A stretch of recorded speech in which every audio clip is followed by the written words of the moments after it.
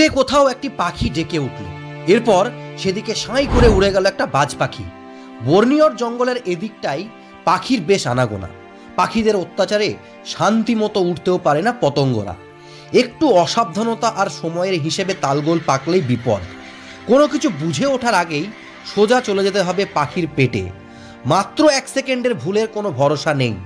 তবে এই ভয়ে ঘরে হাত পা গুটিয়ে বসে থাকলে চলবে না পতঙ্গদের।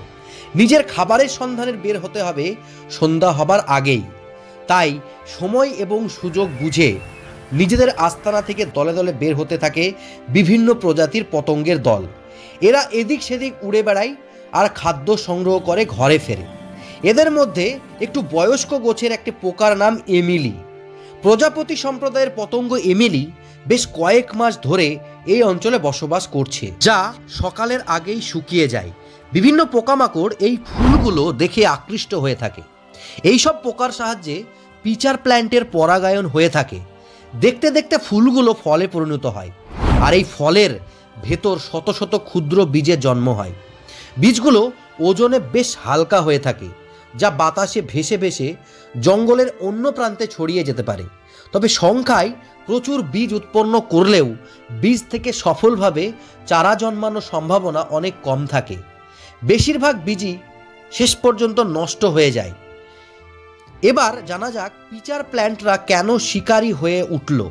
এর আগের অনুচ্ছেদে আমরা জানতে পেরেছি যে পিচার প্ল্যান্ট মাটি থেকে পুষ্টি গ্রহণ করতে পারে। তাহলে এরা কেন ফের পোকামাকড় ভক্ষণ করা ঝামেলায় গেল? এর কারণ, পিচার প্ল্যান্টে যে মাটিতে জন্মায়, এর পুষ্টিগুণ নিতান্তই কম থাকে। এর ফলে পিচার প্ল্যান্টের দেহে পুষ্টি ঘাটতি পড়ে, যা পূরণ করতে এদের অন্য উৎসের দিকে ধাবিত হতে হয়। তাই বিভিন্ন অমেরুদণ্ড প্রাণীর মাংস খেয়ে এরা দেহে পুষ্টির ঘাটতি পূরণ করে থাকে। আর চলমান কীটপতঙ্গকে শিকার করতে স্থির পিচার প্ল্যান্টের ব্যবহার করতে হয় পিচার নামক অস্ত্রকে। পতঙ্গ শিকার করার জন্য প্রথম শর্ত হচ্ছে এদের আকৃষ্ট করে নিকটে নিয়ে আসা পিচারের ঢাকনা থেকে তখন হালকা সুবাস নির্গত হয়, যা মাছি, পিঁপড়ে, গুবরো, পোকা প্রজাপতির ন্যায় পতঙ্গদের আকৃষ্ট করে থাকে।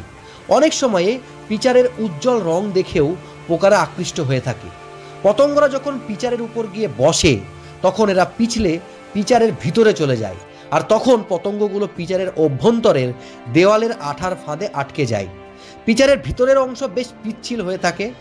বিধায় পতঙ্গগুলো হাজার চেষ্টা করেও সেখান থেকে বের হতে পারে না। উল্টো চোরাবালির ন্যায় এরা পিচারের ভেতরে তলিয়ে যেতে থাকে। তার উপর পিচারের মুখের দিকে মাঝারি আকারের লোম থাকে, যা পতঙ্গকে বাইরে বের হতে বাধা দেয়। ধীরে ধীরে পিচারের ঢাকনা বন্ধ হয়ে গেলে এর ভেতর পাচক রস নির্গত হতে থাকে। তবে শিকারকে হত্যা করার জন্য প্রথমে অ্যাসিড ক্ষরণ হয়, পাচক রস এবং অ্যাসিডের বিক্রিয়া দ্রুত সেই পতঙ্গ গাছের খাদ্যে রূপান্তরিত হয়ে যায়। এরপর গাছ বিশেষ প্রক্রিয়ায় এই খাদ্য থেকে পুষ্টি শোষণ করে নেয়। একদম ভরপেট খেয়ে এবার পিচার প্ল্যান্ট ক্ষান্ত হয়। ফের পুষ্টি ঘাটতি দেখা দিলে নতুন করে শিকার ধরার অভিযান শুরু করে। এবার একটি ভিন্ন গল্প বলা যাক। একদিকে যখন পিচার প্ল্যান্ট পতঙ্গ শিকার করে নিজের আহার সেরে নিচ্ছে, তখন এদের খাবারে এসে ভাগ বসাচ্ছে আট পেয়ে মাকড়সা। ঠিক এমন ঘটনায় দেখা যায় ইন্দোনেশিয়া, মালয়েশিয়া এবং সিঙ্গাপুর অঞ্চলের জঙ্গলগুলোতে। রেড ক্র্যাব স্পাইডার নামক এই মাকড়সাগুলো পিচার প্ল্যান্টের আশেপাশে অবস্থান করে। যখন কোনো পতঙ্গ এসে পিচার প্ল্যান্টের ফাঁদে আটকে পড়ে, তখন এরা গাছের মুখ থেকে আহার কেড়ে নিয়ে নিজেরা ভক্ষণ করা শুরু করে। বেচারা পিচার প্ল্যান্টের শুধু সহ্য করা ছাড়া আর কিছুই করা থাকে না। তবে নিশ্চয় আড়ালে এরা রাগে গজগজ করতে থাকে। পিচার প্ল্যান্টটা ভালো নেই, এমনটাই বলছে IUCN, international union of conservation of nature. এর বিশেষজ্ঞরা পতঙ্গদের ত্রাস জঙ্গলের শিকারীরা আজ নিজেরাই শিকারে পরিণত হয়েছে। তবে এদের শিকারী কোনো পতঙ্গ বা হিংস্র প্রাণী নয়। এদের শিকারী হচ্ছে মানুষ। একদিকে মানুষ নিজের আবাসস্থল খোঁজার উদ্দেশ্যে নির্বিচারে জঙ্গল ধ্বংস করছে, অন্যদিকে মাটি দূষণ এবং পরিবেশ দূষণের মাধ্যমে ধ্বংসের মুখে পড়ছে জীব বৈচিত্র্য এর ফলে খুব অল্প সময়ের মধ্যে বহু প্রজাতির পিচার প্ল্যান্ট বিলুপ্তি মুখে পড়ে গেছে। পিচার প্ল্যান্টের সবচেয়ে বড় গণের নাম নেপেনথেস।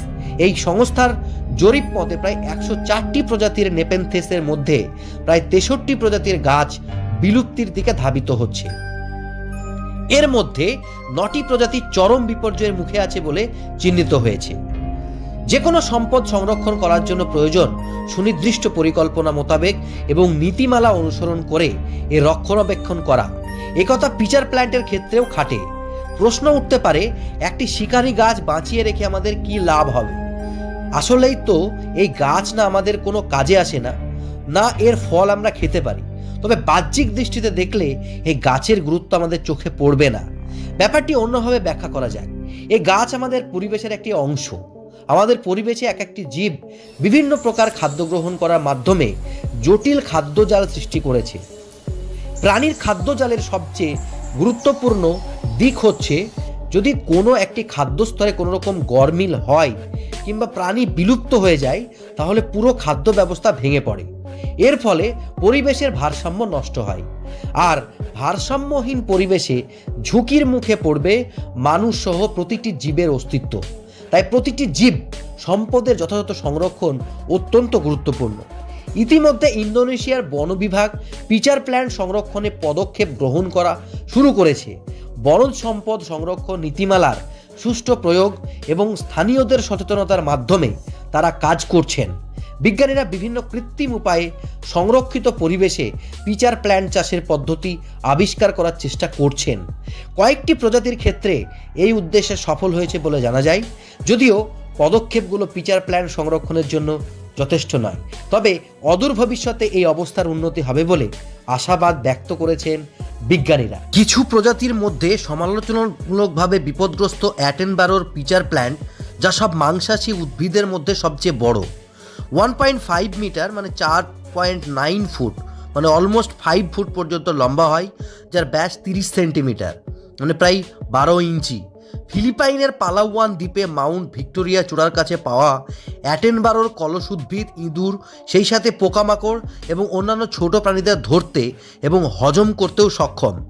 ওল্ড ওয়ার্ল্ড জেনাস নেপেনথেস থেকে চাষকৃত প্রজাতির কলস উদ্ভিদের অন্তর্ভুক্ত সরু পিচার প্ল্যান্ট, সাধারণ জলাভূমির কলস উদ্ভিদ এবং গোল্ডেন পেরিস্টোম পাশাপাশি হুকারের পিচার প্ল্যান্ট, হুকারিয়ান এস্ট মাস্টারসিয়ান এবং ডোমিনি।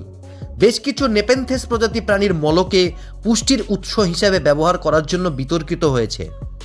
বিশেষ করে কিছু পোকামাকড় আছে এমন এলাকায়। বর্ণীয় এন রাজাহ পর্বত গাছের স্ত্রু তুপাইয়া, মান্টানা, কলসি, ঢাকনায় প্রচুর পরিমাণে অমৃতের সাথে আকর্ষণ করে। পশু খাওয়ার সময় শক্ত, অপিচ্ছিল কলসিটির বিস্তৃত খোলা মুখ একটা টয়লেট হিসেবে কাজ করে। পুষ্টি সমৃদ্ধ সার সংগ্রহ করে। অন্তত দুটি অন্যান্য প্রজাতি সেই দুটি প্রজাতি ছাড়াও উদ্দেশ্যে গাছের গুঁড়োকে আকর্ষণ করতে পরিচিত। আগেরটি পোকা শিকার হজম করার ক্ষমতা হারিয়ে ফেলেছে বলে মনে করা হয়। অন্য একটা প্রজাতি এন হেমসেলাইন একটি দীর্ঘায়িত কলস রয়েছে, যা উলি ব্যাট এর জন্য আশ্রয় দেয়। তাছাড়া এই পরিবারের একটি একক প্রজাতির সাথে শুধুমাত্র একটি জেনাস বৈশিষ্ট্যযুক্ত পশ্চিম অস্ট্রেলিয়ান কলস উদ্ভিদ। উদ্ভিদটি দক্ষিণ পশ্চিম অস্ট্রেলিয়ার স্যাঁতসেঁতে বালুকাময় বা জলাভূমির একটি ছোট, বহুবর্ষজীবী ভেষজ। অন্যান্য কলস গাছের মতো নয়, এটি তার পিঠফল ফাঁদ ছাড়াও ঐতিহ্যবাহী পাতা বহন করে। এর ছোট সবুজ কলসগুলি একটি লোমস, লাল এবং সাদা ডোরাকাটা ঢাকনা দ্বারা সুরক্ষিত থাকে, যা বৃষ্টিপাতকে ফাঁদ পূরণ করতে বাধা দেয় এবং শিকারকে আকর্ষণ করে। এর সীমিত পরিসর এবং বাসস্থানের ক্ষতির হুমকির প্রেক্ষিতে প্রজাতিটি IUCN red list of threaten প্রজাতিতে অসংরক্ষিত হিসাবে তালিকাভুক্ত করা হয়েছে। এরকম ইন্টারেস্টিং ভিডিও দেখতে চ্যানেলটা অবশ্যই সাবস্ক্রাইব করবেন। অনেক অনেক ধন্যবাদ।